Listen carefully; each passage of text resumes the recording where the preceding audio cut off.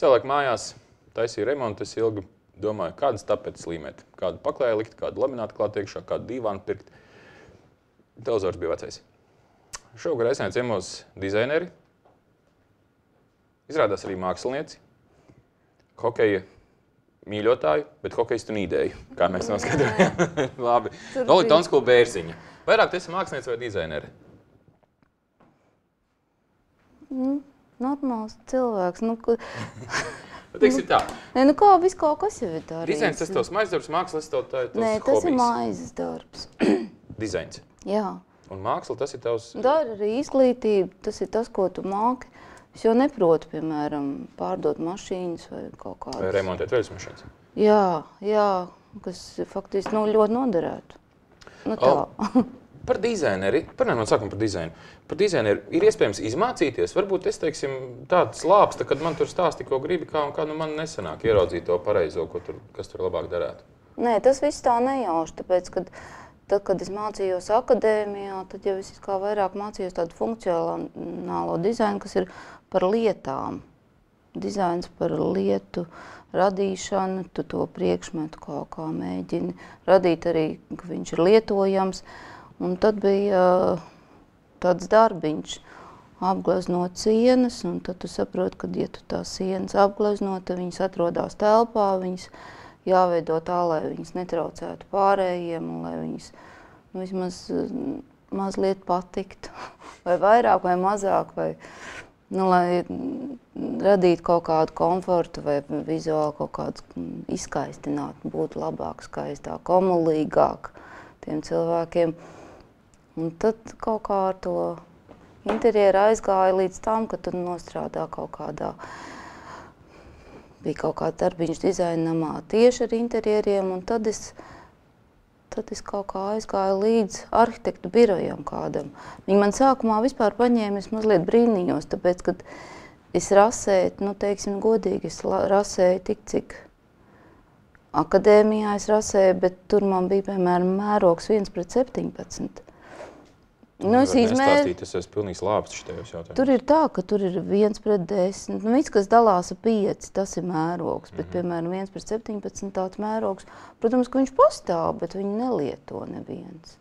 Bet es izmērīju, ka es viņu gribu tik lielu, bet man viņš ir uzzīmēts, tik iz- izdalīja tā kā matemātikā, un sanāca 1 pret 17. Man likās ļoti viss kārtībā. Tā, un tad, kad es Arhitekti to- viņus. Nē, jā, un tad ziņā viņi baigi gudri ir. Tādi, man kolēģi visi tādi, jā, un tādi skaisti, gudri, gudri, gudri, gudri. Viņi mani māca, es no viņiem mācos, un viņi man daudz ko ir iemācījuši. Kolēģis tīri. to klausīsies, viņiem spārni sāks līst ārā.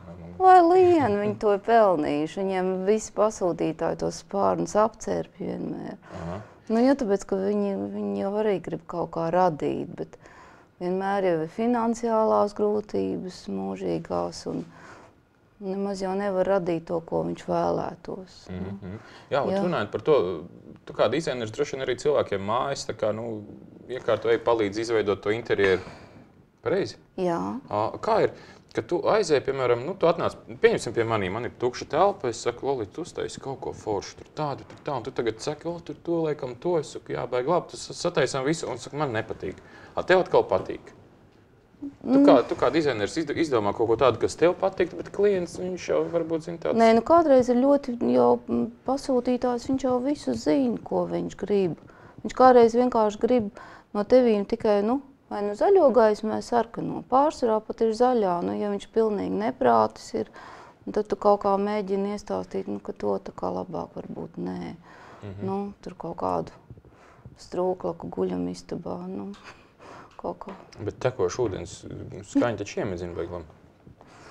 Nu, jā, Arī pa nakti būs jāskrien vien daudz Nē, vairāk. nu, Es nezinu tās tehniskās iespējas, par laimi man tāda, bet nu, ir kaut kādas neprātīgas idejas, un tad tu viņu tā kā mazliet aptur, vai tu atrod kaut kādu labāku ieteikumu, risinājumu, kas viņam, viņam arī varētu patikt. Tu jau viņu mēģini izkost, kas, nu, kas viņam patīk, tu viņu iepazīsti caur sarunām, un tā komunicēšana, jo vairāk tu komunicē, jo tu kādreiz vari ātrāk uztaustīt viņu. Un tad it kā arī, un vienmēr jau to, to ko telpa viņam rāda vai, vai kaut kādu māju, tu vari tikai viņam palīdzēt radīt to māju.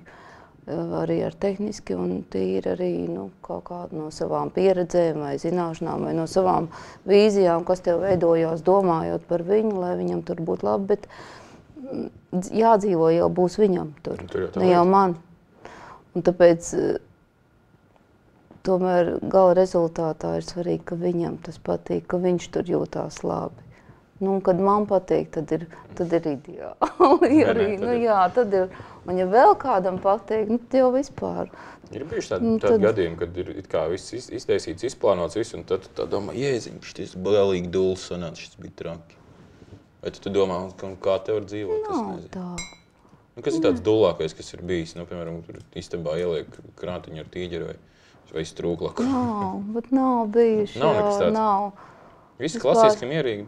Nu, Mājdzīvnieki tiem tur mēģina atrast kaut kādas, lai nenoskrāpē grīdas ar atziņiem, tad tur viņi flīzītas grib un tā, bet tie arī ir interesanti. Viņi ir tādi, kuriem ir mājdzīvnieki un ka viņi visu to pirmo stāvu tikai tam savam mājdzīvniekam. Viņam tur ir trīs bērni, sieva un tā, bet Bet nu, tam sunim viss, lai tam sunim būtu labi, un tā visa ģimene, lai visa tā mīlestība ir tajā, nu, tas viss liekas tā kā vienotu. Bet ģimenē ir otrais stāvs, tur, lai viņi iet un guļ un spēlē. Nē, tās ir viņas, viņa kūrorts, jā, tā ir viņa miega, viņa atpūtas un miera zonas, bet, protams, ka tās filmas jau viss, kad, piemēram, ir tur, kur ir galvenā lomā, piemēram, sunis vai kaķis, jā, nu, viņas visas ir mīlīgas, sirsnīgas. Tā kā gāja komisārs Reksts, nu, vispār man tā liekas, viņš bija visi par viņu skatījās, un it sevišķi man tā liekas, tā bija filma vientuļām mātēm, jo bērni skatījās uz, uz Reiksi un mātes uz komisāru. Tas man tāds, nu, viņi, Tur redz, nu, kāpēc lab, labsirdīgs. Nē, nē, nu, tas, kad labsirdīgs filmas tik maz jau ir tāda. Nē, Kā, nav kā vispār tā. dizainerim ar mājdzīvniekiem sadzīvot, kad tu atnāc, atnāc pie, pie tā klienta, ja, nu, un, un Man tas... ir parasti bail, ja viņi ir lielāki nu, par maniem. Nu, nu, ja sunis ir jau, jau tāds ļoti liels, protams, ka baidies.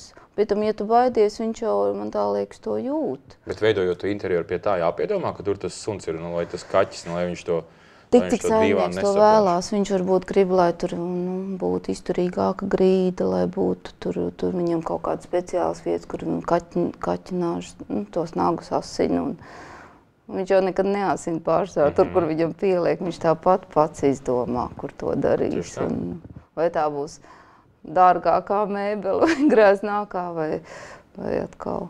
Bet atkal tas suņu saimnieks, viņš jau vai kaķa saimnieks, viņš jau tā mīl to dzīvnieku, ka viņš visu viņam piedod. Viņš, viņš pie tam lepojās. Un tas kā kaķītis man viskaistāko krēslu skrāpē.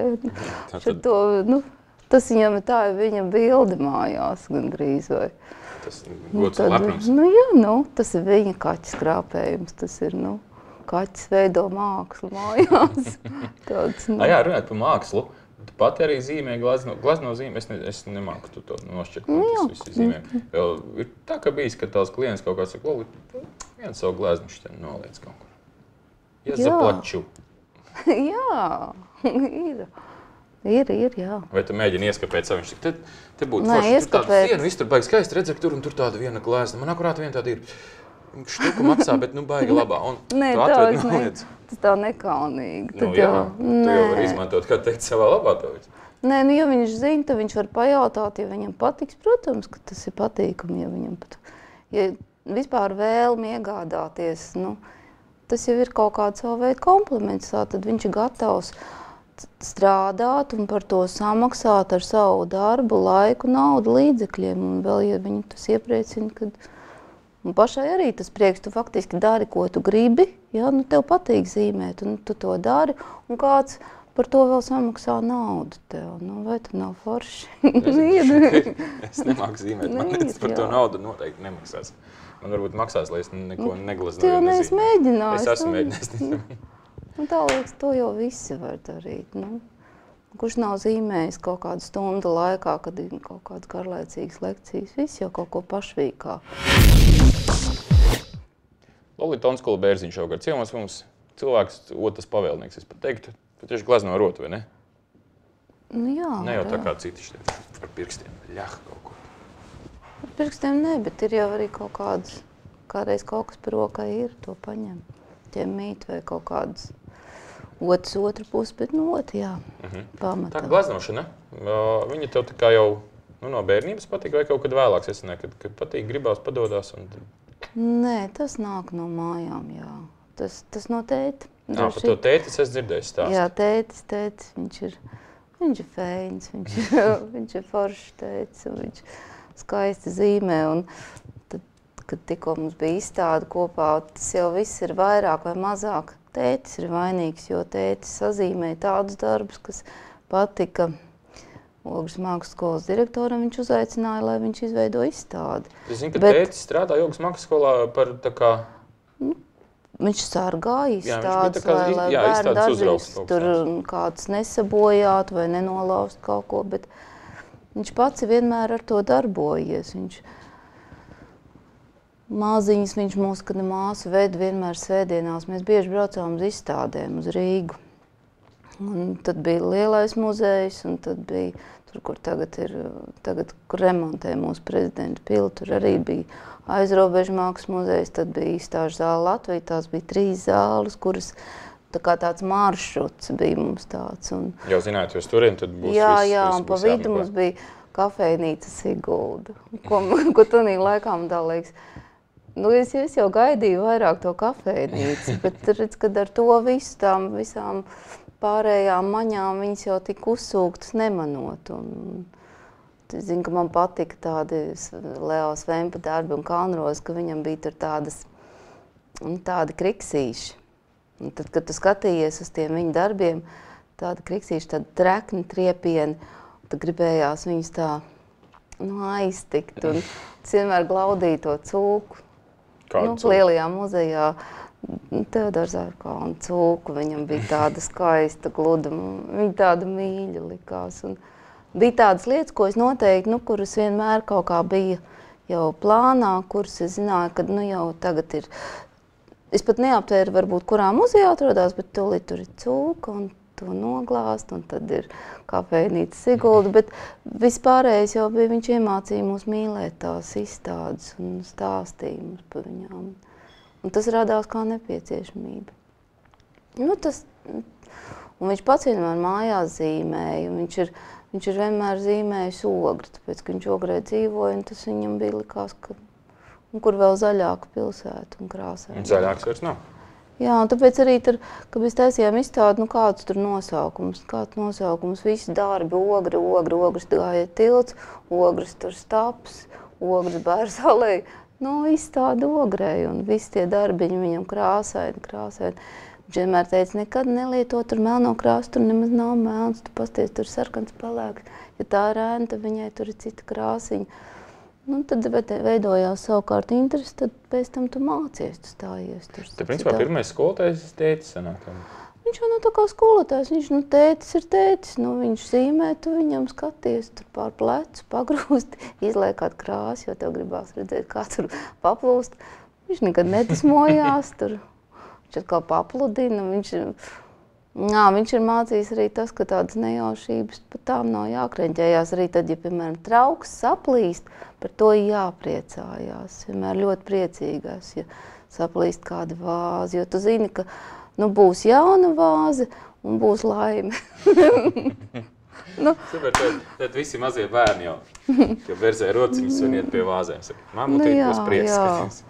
Un tad viņš ir bijis arī tā, ka viņš kādreiz, kādreiz viņu nedrīkstēja traucēt, bet to mēs tā jutām pēc, nu, pēc sejas izteiksmes. Un, un tad viņš nu, tur kaut kādus tur darbus taisīja. Un, Tad, tad, bet tad tu tikai tā noskatījies, un cik viņam tur smuki sanāk. Un, Tad viņš pats noklīda kaut kur kaut kādā mežā vai uz takas, vai tur ur- ogrē viņš gāja, vienreiz ej pa ceriņu ielu, viņš nāk pretī, un viņš vispār tik pārņemts, tāpēc, ka viņš zināja, ka pulkstens piecos ir uz ceriņu ielas tāda gaisma, kur viņš grib noķert, un viņš viņu gaidīja, viņš viņus vairākus vakarus pēc kārtas gāja tajos piecos to gaismu, kad viņi iespīd kaut kādā, un kad ir saule, un kad jābūt tieši tai vakara gaismai kaut kādai, un, Un tad es pati gāju, kur ir tā gaisma, to ceriņu ielu skatīties. Un Viņi ir, jā, tur ogrē ceriņa iela tāda mm, centrā. kad Es esmu dzirdējis, ka tāda ir. Jā.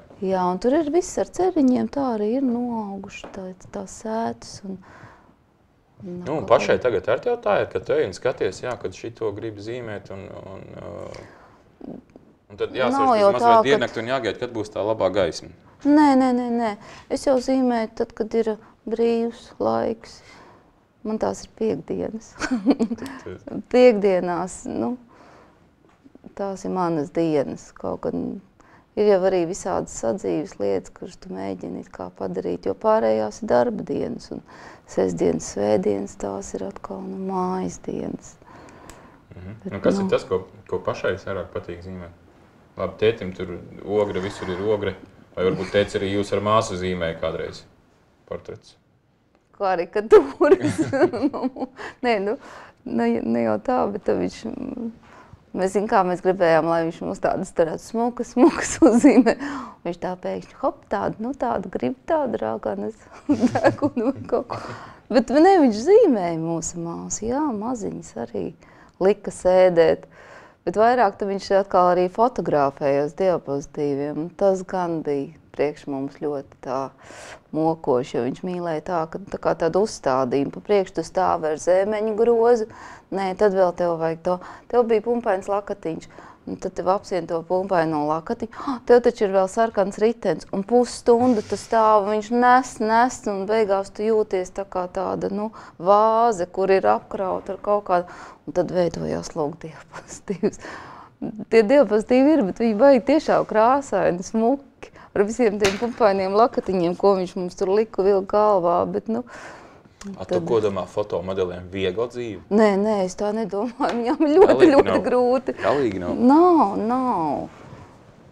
Tā, tā viņš, jā, viņš vienmēr ir fotografē, lai skaisti krāsaini. Kādreiz citiem nebija pacietības to, kamēr viņš uzlika tādu. Un tad arī nebija tā kamera, kad tu varēji fotografēt, noblēst kaut kādus tur piecus kadrus un izvēlēties. Mm -hmm. Viens kadrs, un tad arī vēl kā pārsteigums, tā, kad to filmiņu attīsti un tad, parādi. Ai, kāda es tur tomēr saviebusies. Vai, vai piemēram, acis Ai, ciet. vai- nesanāca. Jā, bet viņš bija salicis tomēr, ka tā bilde bija. Bet viņš tāds ļoti, ļoti pacietīgs. Un, un, un, jo es teiksim, labi, ja es iemācītos glaznot, pēkšņi notiek brīnums. Es nevaru izturēt viņa ilgāk par desmit minūtēm. Man apnikt, un es ietu Nē, mājās. viņš pacietīgs ir uz atsevišķām lietām. Tas, kas cilvēkam patīk, tur jau pacietība ir neizmērojama. Bet tad, kad viņš kaut kā, viņš arī varbūt ir kaut kādas lietas, kas viņam. Bet viņš visu darījis, vienmēr ir tā labi. un Ar... Viņam nekas nav bijis tā, ka viņam kaut kas ļoti nepatīk. Viņam nav, nu viņš arī, kur viņš ir steidzies kādreiz gatavojot ēst, nu tad viņš grib ātri, tad viņš grib ātri Un iemest. tad piedeg tāpatās. Nē, tad viņš grib ātri, piemēram, katls atrodas tur, sāls te, un tad viņš sāli tā iemet tur. Divas stundas pēc viņa virtuve vienmēr jātīra, ka viņš gatavoja. Nu, ēst. mākslinieks, Tāds. Mākslinieks. Nu, Tas viņam bija tas tā, tas tā ātri to vajadzēja. Un cik tā, cik sāls trāpa, tad katlā Tik arī vajag, jā, vairāk nevajag. Tā, tāds viņš tāds. Un kā pašai ar gatavošanu? Tāpat tāds. Vai Ļoti liela gatavotājs mierīgi, neesmu. prātīgi, viss tā zaudē? Nē, nu, tad gribās tortēs, tad tu tā izdomā, jā, tad tu gatavo, bet zupes kaut kādas gatavot, kā arī salasās recepts, tieši tā, ka gribās ēst, nu, tad gatavošu, gatavošu. Tāda liela Tā kā vajag, gatavotājs tad neesiešu zīmēt. Nē, nu, kādreiz gribās tā, lai smuki izskatās, ir kādreiz maizītes taisīts, un tad, tad ir tas, ko kādreiz, eh, kad gribās tādu zaļāku maizīti vai kaut kādu, un tad liekas, ai, pielikt tā koreli. Zin, tam smērēm klāt. Nu, kaut kādam bija kādreiz. Es biju vīlusies, ka bija tāds zaļais siers vai kaut kas tāds. Un es atvēru to buļbuļsāģiņu, un viņš nu bija balts. Es domāju, nu, Tā nu gan zaļais ir. nu jā, kaut kā. Un tad atnāk bērns, skatās, mamma zaļo sieru krāso zaļu. Nē, nu, Ja- ja tā jābūt. Akureļkrāsas jau, nu, viņas jau, nu, var, es nedomāju, ka viņas var ēst, bet es domāju, tie, kas strādā ar akureļu, daudz viņas ir apēduši. Pie tam tu jau zini tās krāsas, tās garšas, piemēram, visgaršīgākās ir tās dzeltenās, oranžās. Vai tas tagad nopietni? Nu, tas ir, nu, varbūt tā nav laba darba kultūra, ko es varētu izstāstīt, bet no ātrumā kādreiz tev pil, nu, tā pili jānoņem, un tad ātrākais ir to otru. tad tu zini garš. Tad zeltainās garšīgākā ir. Ne, tas siltās, jā, tad mm, Tas tā Zilā kaut nav es kaut kad savu mašīnu biju remontēt un arī pacēla augšā un tur tas, tas meistars, viņš tā paņem kaut kāds, kaut kas tur pil, viņš tā paņem, mm, eļa. Es saku, kāds viņš, ka pagaršo salds. diziņš degviela arī prot. Gan jau, ka viņš Kā? bija teicis 5 no Mm, 98 var 98, atšķirt, jā. Tā kā, Nu, jā, tas skaidrs. ir labs meistars uzreiz, droši vien. Viss par un ap mākslu un vispār dzīvi. Lolita Onskula, Lolita Onskula Bērziņa šovakar ciemos. Mēģinu ātri runāt, man vienmēr kaut kur kaut kas samisējās. Lolita, parunājam par taviem darbiem. Bija izstāde, nu pat tā sogrē beidzās. uh, Kopā ar tēti izstādījāties gleznas, visas vis šīs lietas, viss tur skaisti, viss smuki. O, Teiksim tā, ņemam procentuāli, cik tavi darbi, cik tēta darbi tur bija. Vai tur bija tā, ka tēti izstāde un to divām gleznām? Nu, Hop. Tētim bija 31 darbs, man bija 5. Tā, Precīzi, jo skaidļos tas ir. tā piemet, piemet pie tēta izstādes klāts. Nu, viena sastāvdaļa tāda. es, es maz drusciņi tikai tā. Nu, ja tikai piekdienās paglaznot, tad tā varētu būt. Nu, jā, ja viņam ir, piemēram, visas pārējās dienas, Mhm. un man ir tikai piekdienas, tad viss ir pareizi, jā. Kas tas ir, ko tu glezno? Ko, tu- ko... Nu, vai tas Nu, ir dabas es, skats es vai- neteiktu, vai- ka es pretendēju uz kaut kādu tā, tā kā tīru tādu glezniecību, jo tas ir kaut kas tāds jau lielāks un augstāks. Man ir, um, es veldzējos no pārējiem gleznotājiem, man viņi patīk, un Latvijā īpaši, bet man jau vairāk ir tādas, tādas varbūt kaut kāds iedoms kaut kādā mirklī, kad es varētu pazīmēt un, un kāds varbūt pasūta arī un tad tu zīmē to skici un ceļš, vai tur bija, piemēram, banka, ja, un tad tu sāc domāt kaut kādu par, par naudu, par monētām, kas viņus visu laiku vispār, nu, ar ko, kā, ko mums asociējās. Bankā glabā naudu un viņi tur, viņi tur ņemās Tā kā vecajā tajā tur par to pīli bagāto, kurš tur liek Jā. savā seifā. Un, viss ir atkarīgs no noskaņojuma. Tad mirklī bija ziema, bija, tā bija pagājušā gada ziema, liels putekļs vai ne aizpagājušā. Nu, tā man sanāca monēta putekļs. Nu. es, es nezinu, vai tas ir kaut kā konkrēti vai tā. Tās mandāls arī zīmējot. Man ļoti, man ļoti patīk balets. Tas, tā ir mana vājība. Un tad, kad es izlasīju, kā Jūlija Gurviča attiek no izrādēm, ka viņi pārnāk mājās un, un tās mandaliņas izkrāso, un tad viņi nomierinās. Un viņi tik skaisti dejo, es domāju, un vēl viņi prot tik skaisti nomierināties pēc izrādes, lai vispār spētu sevi, nu, savu ķermeni noguldīt un atpūtināt. Tad, tas man likās tā mandāla, tas ir kaut kas noteikti vēl no baleta. Un, un tā es mandāls arī sāku zīmēt, bet tad, nu, tā pliki krāsot man negribējās, man gribējās tur ielikt faktūru iekšā. Beigās izdomāju, ka mandālu sadalīšu kā pulksteni, kā gada laiku, un tad viņi veidojās, un es viņu gleznoju diezgan ilgi pa brīvo mirkli kaut kā. Tad bija janvārs, februārs, mārts, aprīlis, mājas, jūnija. Nu, un tad, kur, kur tas Ziemassvētku, tur kaut kāda čampaniešu burbuļi un kaut kādas tādas pavasarī puķītes, nu, pēc krāsām kaut kādas. Tas tā diezgan no manas puses intuitīvi, tā glezniecība viņa var būt. Un, un tad ir laimīgās, tās bija tādas, tas bija darbiņš tā kā tāds pasūtījums, un tas bija stomatoloģijas institūtam, un tur tās, tās visas zobārsts, kas strādā, tas ir kaut kas tāds īpašs, tas ir tāds sievišķības vainags, jo viņas vispār pirmkārt ir ļoti, ļoti skaisti izjūt balto krāsu, viņas izjūt vairāk nekā tu strādājot ar, ar kaut kādu interjeru, tāpēc, ka viņām laikam ir darīšana visu laiku ar zobu blombēšanu, un viņām ir tik smalka, niansēta izjūta un tik trenēta acis, ka viņa ļoti skaisti nolas. Un tad eh, viss tas smalkums man likās, un viņas tādas laimīgas, ka viņas to darbu dara un ka viņas izdara un ka viņi dara gan. Viņas jau palīdz arī tīri cilvēkam kādreiz ne tikai, kad viņam varbūt sāpzobs, ka viņš jārauj ārā, bet mm, arī, ka viņš nu, kļūst skaistāks, ka viņš vairs nav caurs un tur nav melns punkts varbūt, vai, Un viņas ir tādas laimīgas un sievišķīgas, un viņām radās tā bilde laimīgās. Tur meitenes mēģināja tādā. Portrets nebija ilgi zīmējis, viņa mazliet jau tādu šķību, bet tādi, nu, ar zelta piesitieniem, ar tādām sajūtām, bet tās tādas, nu, tad, kad tu zīmē, tev jau patīk tas, ko tu dari, un daudz kas veidojās tāpat tādā mirklī. Es pat nezinu, ko es tajā mirklī domāju. Nevar teikt, ka tu tā noliec kaut ko un tad mēģini pārzīmēt, bet tu vairāk tā kā... Es saku, es jau neesmu arī tāds, tāds gleznotājs. Es esmu vairāk tāds, nu, zīmēju, gleznoju, tāpēc, ka to patīk darīt. Nu. Un kā izrādās arī sanāk? Nu, jā, nu, ja kādam patīk, tad man prieks. Nu, kādu, vispār jau forši, ka tu vari iepriecināt vienmēr ar sevi kādu. Nu. Vai tu vai ar savu ierašanos, vai parā, vai ar joku, vai ar atbalstu. Vai, nu, vispār jau tas trūkst. Lai... Tu arī mākslas skolā par, par, par pasniedzēju taču strādāji. Jā, man patika ar bērniem strādāt. Viņi bija visforšākā. Vispār visforšākais kolektīvs.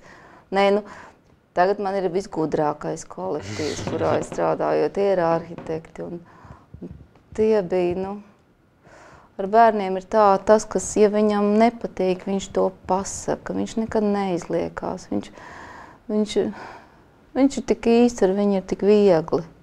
Nu, viņi atnāk, viņi nu, tu, tu strādā ar cilvēkiem, tāpēc, ka tu redzi viņus. -hmm. Tas bija forši. Tur vienmēr kaut kādi jaunumi piedzīvojumi, visi stāsti. Ir jau pieredzēt kaut kādu izstādi savējo? Jā, mēs taisījām kādreiz Lielvārdē biju, tad biju Ogres mākslas skolā. Izstādes jau visu laiku tika rīkots, mm. un svētku ogrē kādreiz tika rīkoti uz mākslas dienām, un uz 1. septembris tādi portfeļu svētki. Un visos, nu, kaut kādas bija lietas, kas tika darīts, jā, bet tas bija ļoti sen. sen.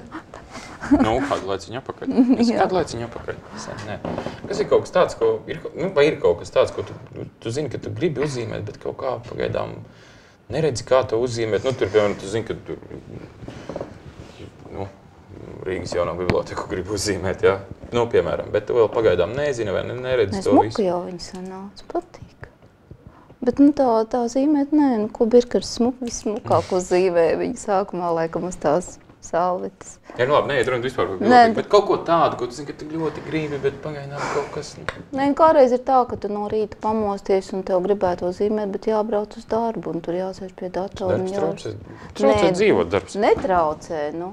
Nē, nu, jebkurā laikā tu gribētu vispār nedarīt neko un slaistīties, bet, nu, redz, slaistoties ir viens tāds mīnus pēc dabas es gribētu būt pēc profesijas laists. Neko nedarīt un vienmēr dzīvot zaļi, bet laikam pati sev piegrieztos. Nu, jo mm, nebūtu gandarījuma. Noteikti nu, apnikt. Nu, tas tāpat kā es teicu, ka tu iztīri māju un, un tā kļūst tīrāks, tīrāks un tev tāds prieks, un tev pirms tam bijis nogurums, varbūt tev slikts noskaņojums. Un tad tev vienīgais, kam ir spēka, nu, kaut ko iztīrīt, izpost tur un notīrīt stiklus. Tu redz, ka tas stikls tīrs, cik skaisti, cik tīri. Nu, tev rodas prieks, un tad jau uzreiz tev rodas enerģija vēl kaut ko darīt un darīt. Un ar visiem darbiem, laikam tā ir. Mm -hmm. Tās tādas vecas patiesības šitā, un tā liekas, tā kā vecmāmiņa man runāja. Iztīri saliec malciņu, būs prieks. Jā, jā. Nu, Tavs darbus tētis, tētis viņš vērtē?